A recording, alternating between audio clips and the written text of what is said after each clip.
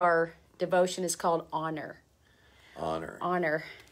So, um, you know, I've never, you know, respect and honor. Probably ought to find your note. I probably ought What'd you go to? I, I did. It's all messed It was on notes. So.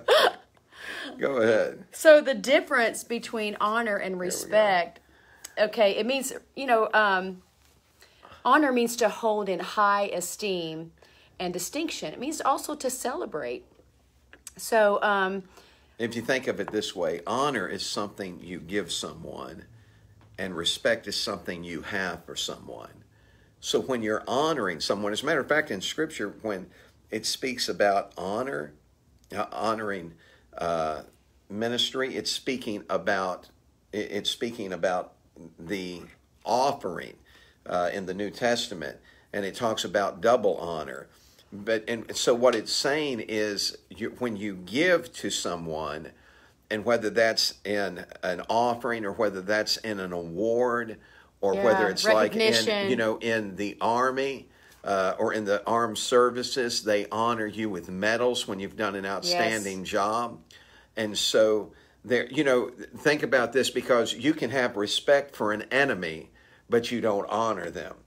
In other words, when you know they're fighting, you may look and you may say, like you know, during World War II, and they talked about uh, the Japanese and how intense they were, and they would not give up. It was like they they would get embedded. So there was respect for how ferociously they fought, but there was no honor given because of what they had done. okay. Does that make sense to you? Yeah, I think so. So you give honor to whom honor is due, and you know how do, there are ways to honor others and respect and celebrate. Right? Uh, Romans twelve and ten says, "Love one another with brotherly affection." This is in the ESV, and I just like the way it was worded. It says, "Outdo one another in showing honor." How do you do that? How do you outdo one another in showing honor?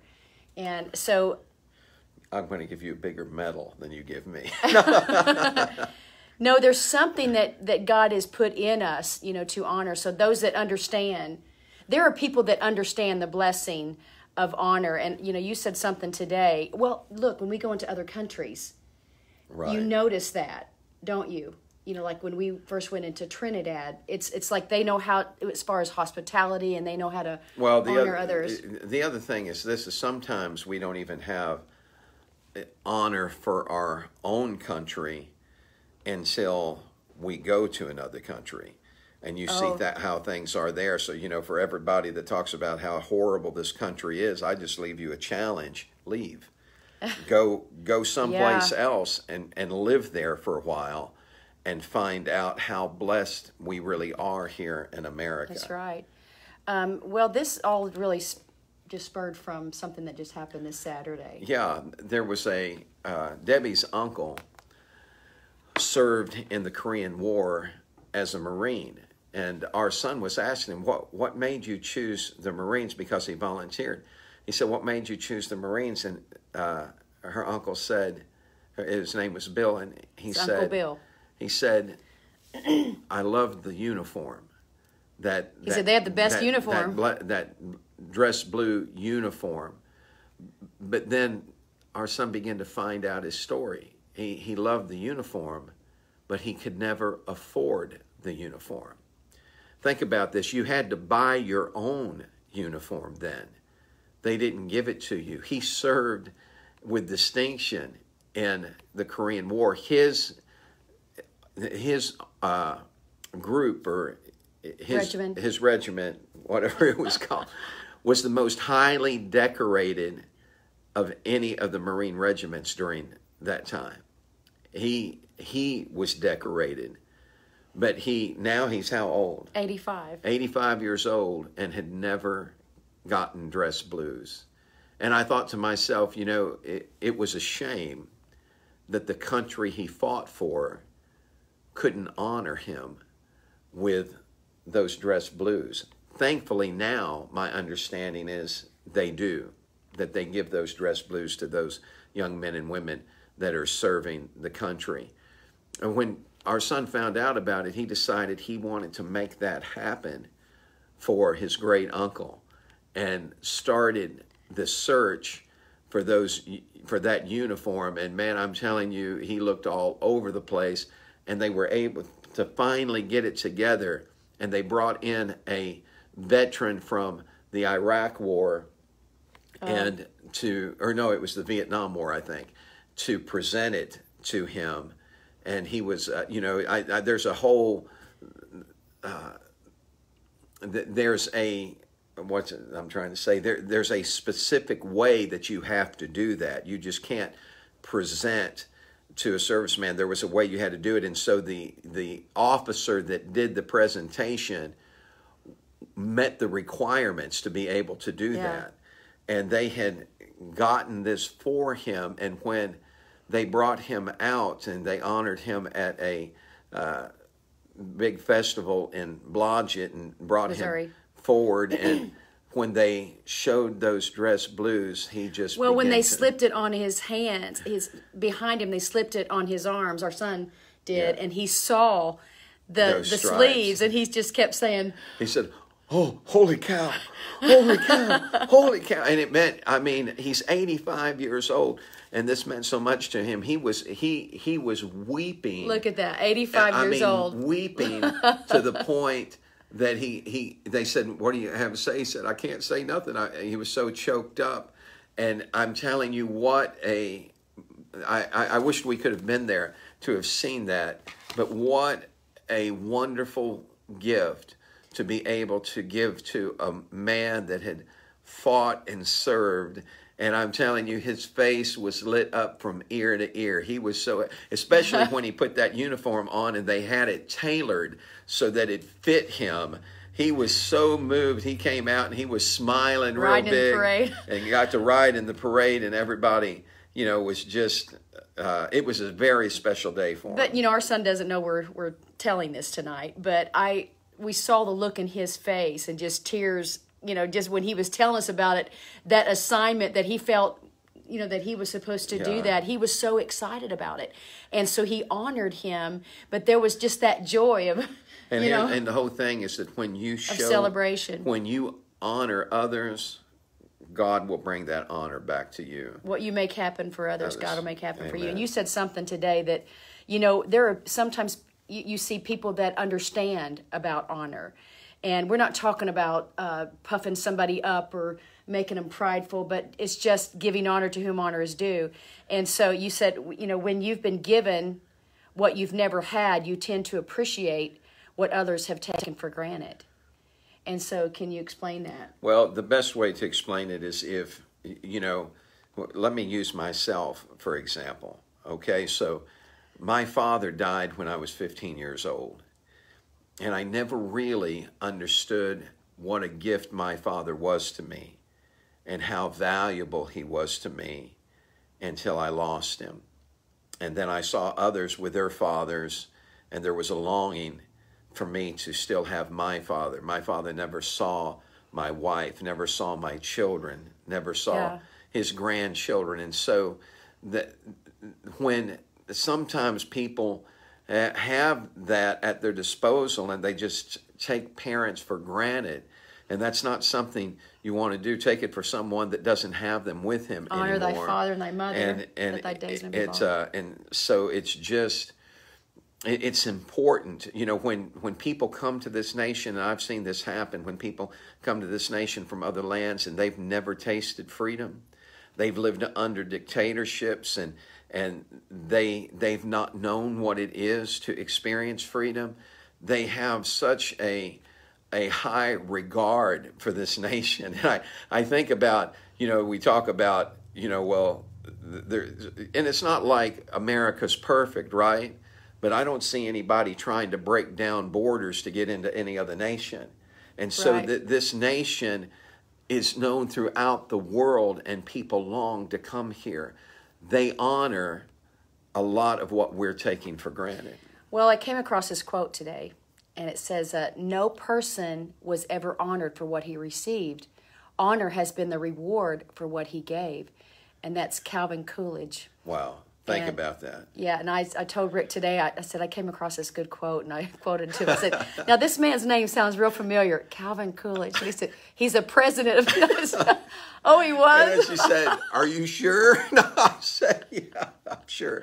I don't remember him in my day. Yeah. So he well, was he like, was before your day. Yeah, but don't you like that- 1923 to 1929. "Okay, isn't that a good quote though?" Because It's excellent. no person was ever honored for what he received.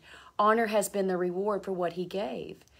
And so when you give of yourself, I think about the, you know, recently, well, it's been a few years ago now, there was a uh, film that was done in a battle in World War II. I think it was called Hacksaw Ridge or something like that. And it was a true story about a man that refused to carry a weapon during the war. He didn't believe in killing, and, and you know, and he, he, he got he suffered such ridicule from everyone.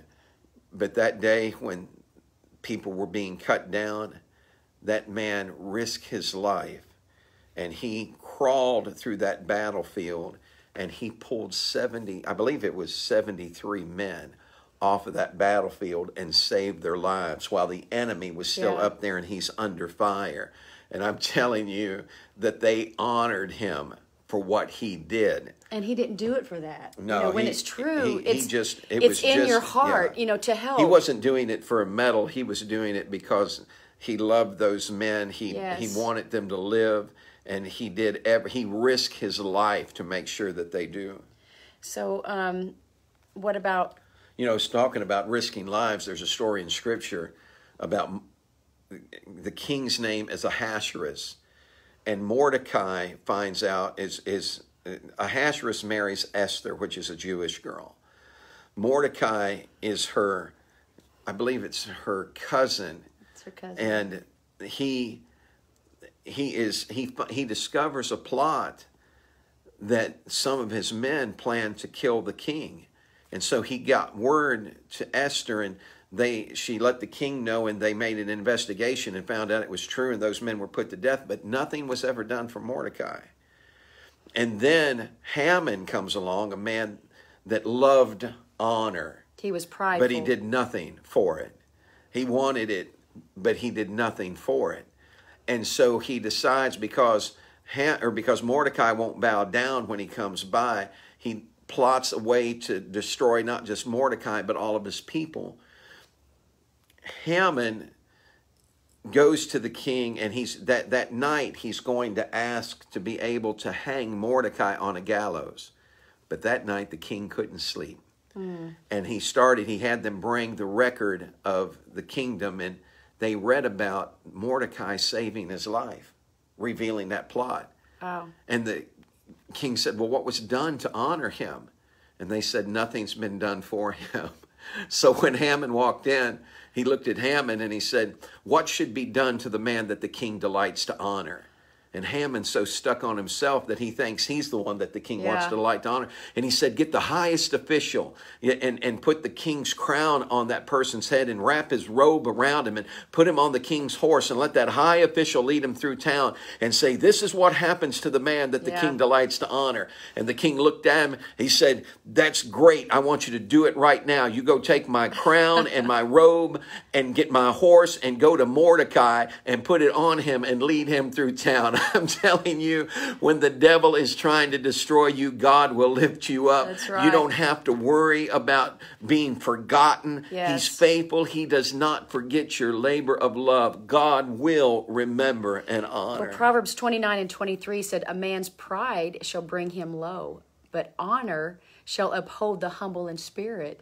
So that's who God likes to, you know, sh- delight in. You know, I want God to delight in me. I- It's not like you want, you know, just, oh, please honor me. But how do we honor God? You know, when you think about he saved he he saved his life. He honored him because he saved his life. Exactly. And he didn't do it for a crown. He did it because he was loyal. Yes. What we do for God, we don't do because we're wanting to, we don't give to get. You know, some That's people right. have kind of polluted what giving is all about and they've made it sound like some type of a gimmick. That's not why we give. That's not why we give tithing or offering. We're not we're not running some gaming system or something.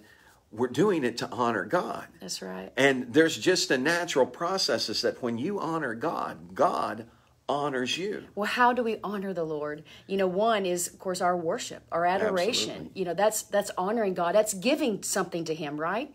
You know, how what can we give to God? And it's when we honor him and you know, The- we we revere him, we we love on him, we adore him. That gives honor. The scripture says that he inhabits the praise of his people. That word inhabit in Hebrew means to dwell in, that he moves in them. He settles down. Yes. He sets down in our praise and our worship.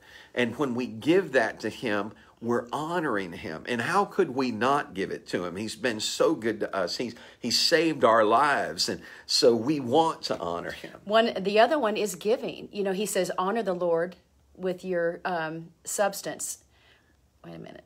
Honor, honor the Lord with your with the first fruits of your increase, something like that. but The it's scripture. Look, Wait a if, minute, I you, if you know find it. anything about scripture here at it all, is. you okay, Wait, honor the Lord with your substance and with the first fruits of all your increases. So that's a way we honor Him is We through our our giving. Right. Here's the thing: is we don't tip God. We don't. God's not good. a waiter. That's good. You know, coming and and and you know, giving us all we need and making sure our table's full. And here we we're going to leave you a ten percent tip. Matter of fact, we give waiters more than we give God. But what I'm saying is this: is that we we give God what He's already given us, and we do that with our first fruit, and so that honors Him. And when when we honor God, God, Oh, he, he, he said, think about this. Think about this. God, th- this he challenges us in Scripture. Mm-hmm. In the book of Hosea, he says, he, he, he or rather, Malachi. Malachi. He makes a statement, and he said, "Try me, and see if I won't open up the windows of heaven." And pour out to you a blessing you cannot contain. He was in Luke. talking about in their giving, and so when they they gave, he said, "I'm going to give back to you." And the gospel says, Luke, "Press yeah. down, shaking, press down, heap Shaken together, and together. shaken together, and running over." Well, um, the other way is you honor God by honoring others. I mean, that's that's what His Word says, and you know, um, it said that uh, honor all men, love the brotherhood, fear God, and honor the King. And when He says to honor, preferring one another, that means to lead the way for others. So that's how we honor Him. And you know, in Isaiah fifty-eight, the people were saying, you know, they didn't understand that God. Well, just I just want to just read. it You know, it'd help if you get those scriptures in order. Huh? I know what happened. Says they say to honor you, we had special days. They're, they're, they're saying this to God. To honor you, look, we had special days of fasting, but you didn't see. We humbled ourselves to honor you, but you didn't notice. You know, and, And this then is God responds to him. yeah, God responds to him and says, "You do what pleases yourselves in these special days." And you, you know, and so he he just lets him know. But then he said, "But look, this is the fast that I have chosen for you. In other words, this is how you honor me." And he goes on to say, "You loose the bands of wickedness, let the oppressed go free. You give your bread to the hungry." And so then he, he says, "When you do this, you'll be like a watered garden. You know, your your uh, light will break forth in the morning and." You know um, you'll be called the repairer of the breach and so that's what he's saying when you honor others and when you even when you give when you acknowledge them you're giving to me and so i just thought that was just really Well, really Paul special talks about it in the book of Philippians when he said, he makes a statement. I'm just going to put it in plain English. It's the fourth chapter. And he talks about, he said, I'm not trying to get something from you, I'm trying to get something to you. In other words, what Paul is saying is this he's saying, you know, when when we call on God, he said that he said that way you have fruit to your account. In other words, if we're not giving to God, if we're not giving our worship, if we're not giving of our time, of our finances, then we when we go to call on God, it's like taking a passbook to a bank and it's empty. Hmm. But when we honor God, that's why Paul's saying he said, "I'm not I, I'm not trying to get something from you. I'm trying to get it to you. I want you to understand what this does." And so tonight, that's what I, my prayer is: is that you understand that these things are not empty acts. These are when you worship God, and, and people may make fun of you for worshiping God. They, they, your, your friends may laugh at you, but let them laugh because you, my friend, are building an account up. God is hearing you. He's seen what you're doing, and he will not forget the honor that you've Right. shown him. Psalms 91, 14 and through 15 says, Because this is God speaking, because he has set his love upon me, because he's honored me. Therefore will I deliver him. I will set him on high, because he has known my name. He shall call upon me, and I will answer him. I will be with him in trouble. I will deliver him and honor him. And this is how he's one way to honor them. He said, With long life. I will will I satisfy him and show him my salvation. That's God's honor upon his children. You know, during uh, a few years ago, I Had the honor. had the honor of being able to do a funeral of a World War II veteran.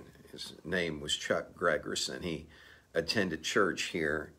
His daughter was Karen Smith. She's still with us, and they'd been long standing members of the church. Chuck, and I want you to see him as a young man, and That's not Chuck. oh, that's not, no, no, sorry, sorry. That's not Chuck. Here's Chuck. That's Chuck. Okay. Handsome man. Uh, so he served during World War II, and I, when his daughter was letting me go through some things because I wanted to be able to, uh, you know, share about his life, and I thought, well, maybe if I can find, I need you to run and grab my iPad, please. I'm sorry. I, I thought, well, maybe I could find something, and I came across a letter. I want you to think about this when we talk about honor. This letter was written to him by a prisoner of war, a German prisoner of war that he had guarded.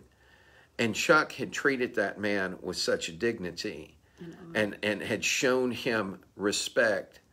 And that man could not fathom it. And he, he, he you can hear it in this letter that he wrote. I, I want to read this and I want you to hear his words because Chuck had guarded him and then Chuck got moved and now he's trying to find him. So listen to the words of his letter. Remember, this the is this is oh, was that the man? This is the German. Oh, okay, yes. I didn't realize that. Okay. Yeah. So he writes and he says, Dear Gregerson, you have moved from here so fast that I didn't know about this fact. I could not give you a salute on your way. Therefore, I have given your comrade my address, hoping it could be possible to get a letter from you after this war and begin a, and begin a good correspondence. Today, I have the opportunity for both of your comrades have come back for a night, so I send with them this letter. But I'm afraid that there is no news or nothing to report of who would find your line since you have gone from here. Wow. We nearly march every day, so I cannot find the same persons as was with the first four of you. I'm hoping that you are very well and hoping that you have survived the heavy losses of this war. So have a happy life with your wife. I send you today a very hearty salute. Your friend, Langaros. I thought about that. I thought, man, this guy, he salutes him. Do you understand what an honor that is? That because you typically salute a superior officer, and he's saluting Chuck. He said, I give you a hearty salute. Chuck had had such an impact on that man's life. Yes. And he wanted to honor him. Chuck had shown him what it meant to be a man of God, to to show the love of God. Yes. And I'm telling you, think about that. A, a, a- man that he fought against, a, a- Yes. nations that were at war. Yes. But in that moment when those two men were together, Oh, wow. something unusual happened. And Chuck's heart came shining out of that event and caused that man to totally have a different opinion of, of America and of him. And, and to the point that he wanted to befriend him. He's giving him a hearty salute. He wants him to know how much he values his friendship, hoping and praying that he came out of the war and that he has a happy life with his wife and Isn't children. Something that's special. thought, man, that's my friend. That's honor to the third degree. That's that. That's just an honor to have someone speak that of you, to feel that way about you in the time of war. It's it's undescribable. Revelations 4 and 11 says, You are worthy, O Lord our God, to receive glory and honor. Look, it's all the glory and all the honor and power goes to our God. It says, For you created all things, and they exist because you created what you pleased. And so, what it is, is demonstrating God's love. You know, when we demonstrate honor, it's demonstrating His love and letting his light shine through us to others. When when we show honor to God, we're acknowledging and letting him know that we understand that it's you that's made us and not what the scripture said and not, not we, we ourselves. ourselves. For we're the sheep of his pasture. What a wonderful feeling to have a shepherd that loves us, that cares for us, and that wants the very best for us. So tonight, let's honor him together. Can we do that? Amen. Father, we come Thank to you, you right now and we just tell you we love you, we praise you, and we honor you, God. Lord, without you, Father, we have nothing. Had it not been for you, I wouldn't be here today. Had it not been for your love that you demonstrated through your Son, I have no hope for eternal life. But because of your great love for us, God, we feel that and we experience it and we honor you. you help us to do it in tangible ways. God, not just with lip service, but help us to do it in the way that we live our life. Father, when yes. we live our life for you and we love one another, that's a life that's well pleasing to you. So we just ask you tonight, God, to receive our worship to know that from our hearts, we don't have words to let you know how important you are and how much we need you. you so we thank you and give you all the praise, all the glory, and all the honor in Jesus' name. Amen. We love you guys. We love you all. Hope you have a great evening. See we'll see you next time. Bye bye.